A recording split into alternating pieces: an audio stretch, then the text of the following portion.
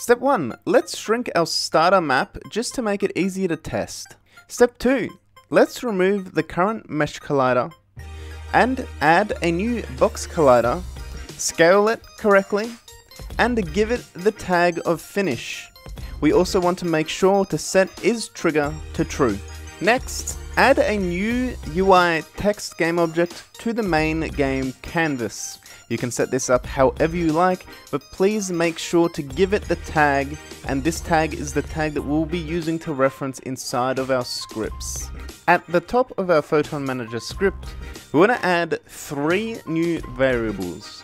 One is going to be a list of Photon views called current one player. And then we want to add a new integer called spots left. We're going to default this to 1. And then a new text reference called spots left text.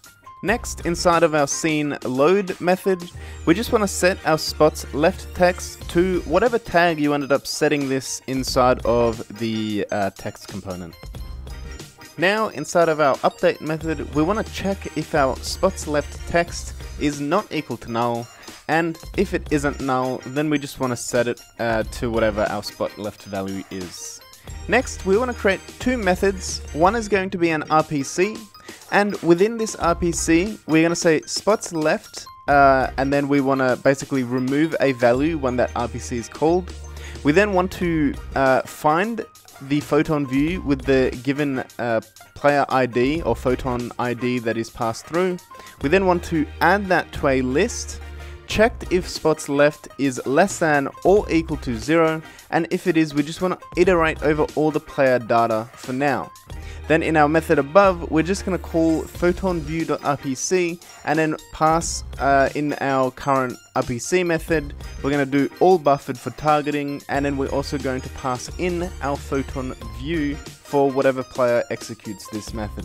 Next, we want to turn our Photon Manager class into a singleton. So in our void awake method, we're just going to check if the current instance is null and if it is, set it to the current instance. In our player data script, add a new public bool called has hit finish and we're going to default this to false.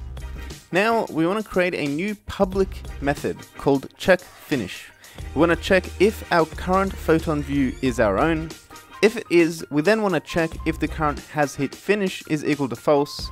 And if it is, then we want to call photon room back inside of our Photon Manager script, inside of our add player to spot RPC, we now want to call that check finish method.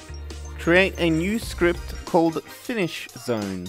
Open up the finished zone script and make sure you use photon and photon pun at the start of the script. Next, we want to create the on trigger enter method and inside of this, check whether the current object that has collided uh, we want to check if the layer is 10. After this, we just want to set our APR controller to that of the uh, current object that's collided. Then we want to make sure that we get the player data and set has hit finish to true. And then we want to call that photon singleton. Uh, so we do this with photon manager, the instance, and then dot add player to spot. And then we just want to pass in the current player's photon view. Now make sure to add the finish zone script onto our finish platform. Back in our Photon Manager, we actually need to check whether the current Photon view is already inside of our current one players list. Uh, and basically, if that player isn't, then we want to run the rest of the code inside of this RPC. And lastly, going back into our finish zone, we want to add a quick check to see if the current collided photon view is our own. Uh, and if that is our own photon view, then we want to destroy the finish platform just to make extra sure that we don't ever collide with it two times. Hey all, Lance from Expressed Unity, and now if you've followed everything up until this point, your version should look very similar to mine. The only difference is I ended up changing a few of the public variables inside of the Photon Manager, just so that I can get three clients joining the game and have up to two spots, just so you guys get a better uh, idea of how the system works. Now, once two players uh, cross the finish line, the players who have not uh, ended up making it will get kicked out of the server. Uh, however, for those players, there will be errors uh, but this is all that we're going to cover in this lesson. Uh, we'll end up fixing those errors in the next tutorial. Uh, thank you guys for watching. If you need any help, please join our Discord server. Myself and a few others would be more uh, more than happy to help. Um, and yeah, just subscribe, like, and I'll see you guys in the next video. Bye bye.